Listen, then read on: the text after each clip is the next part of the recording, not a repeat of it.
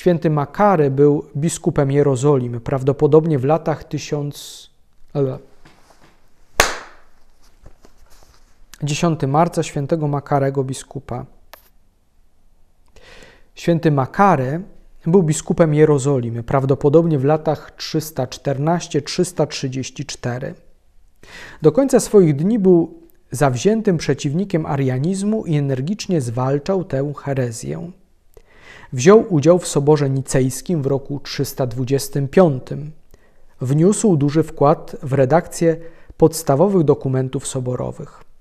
Wkrótce po soborze wespół ze świętą Heleną dokonał cudownego odkrycia. Odnalazł w Jerozolimie autentyczny krzyż Pana Jezusa.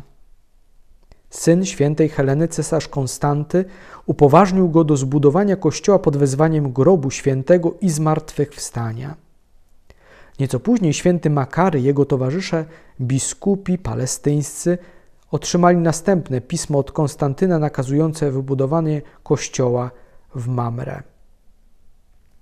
Boże, światłości i pasterzu dusz, który ustanowiłeś świętego Makarego biskupem w Twoim kościele, by karmił Twój lud słowem i kształtował przykładem.